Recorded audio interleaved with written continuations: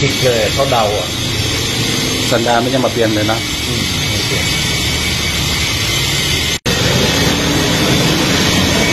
เหลือร้อยหกสิบนะมือนี้ก็ผมเห็นนะเอ้าไอ้สมคิดออกมาอีกแล้วเหรอฆ่าคนอีกแล้ว โอ้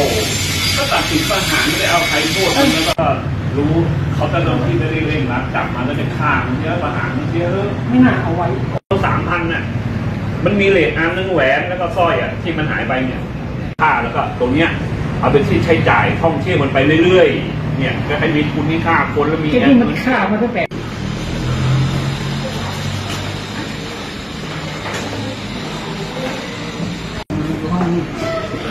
อ๋อ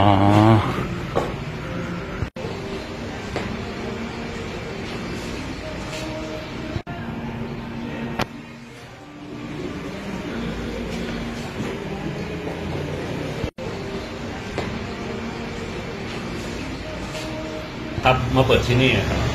มาเปิดร้านเป็นร้านอะไรฮะมาเปิดห้องเฉยๆครับเขามีหลายห้องมาเปิดห้องใครห้องมันมาเปิดนวดนะครับแล้วก็ก่อนเกิดเหตุเป็นยังไงพี่ลองเล่าให้ฟังนิดนึงเกิดเหตุ คือว่าผู้ชายคนนี้เขาก็มาหานวด แล้วก็เขาก็ตกลงกันยังไงไม่รู้นะครับได้ข่าวว่า แฟนเขาเนี่ยอยู่ไอ้ทำงานบริเจอร์กับเกี่ยวพวกตู้พวกอะไรเนี่ยครับเขาบอกว่าเขาโทรไปหาแฟนเขาว่าไปค้าง ตกลงว่าราคาสามพันแล้วก็หายไปคืนนึง แล้วก็เก็บอีกเก็บวันนึงครับ จนที่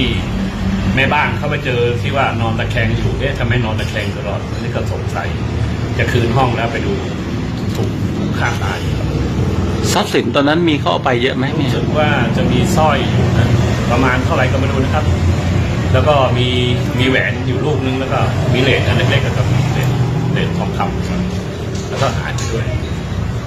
ตอนนั้นพอทราบข่าวแล้วตกใจไหมฮะตอนนั้นนะตกใจครับเพราะแพ้ว่าผมอยู่ ผมเปิดร้านอยู่อยู่ใต้ที่โรงแรมครับ ตกใจ ตกใจแล้วก็เด็กคนนี้ก็เคยมาซื้อกาแฟซื้อน้ำส้มที่ร้านผมอะที่แฟนผมขายอยู่เนี่ยครับ อยากจะฝากอะไรถึงเจ้าหน้าที่ไหมฮะเกี่ยวกับฆาตกรต่อเนื่องรายเนี่ยผมอยากจะฝากเจ้าหน้าที่ถ้าจับได้แล้วก็ขอแบบ คดีมันตามรูปคดีครับ ผิดก็ว่าไปตามผิดเลยนะครับ คนคนนี้นี่เป็นบุคคลที่น่ากลัวมากครับ ในสังคมนะครับคือว่าเขาไม่ใช่ว่าจบจบกับผู้หญิงคนนี้คนเดียวที่ผมรู้รู้มาว่า เป็นคนที่สี่อะครับ คนที่สี่ที่จังหวัดลำปางคนสุดท้าย แล้วก็ถูกเจ้าหน้าที่จับได้ ที่ประวัติเขาเขาก็มีปมอะไรหรือเปล่าเกี่ยวกับผู้หญิงเนะฮะถ้าที่ทราบมา ทราบมาผมสืบๆดูแล้วเขาเป็นอยู่กับแม่นา แล้วก็ถูกแม่นารังแกเลยกลายเป็นที่ว่าเป็นกับกับผู้หญิงเนี่ยเขาแบบเขาฝังใจอะครับ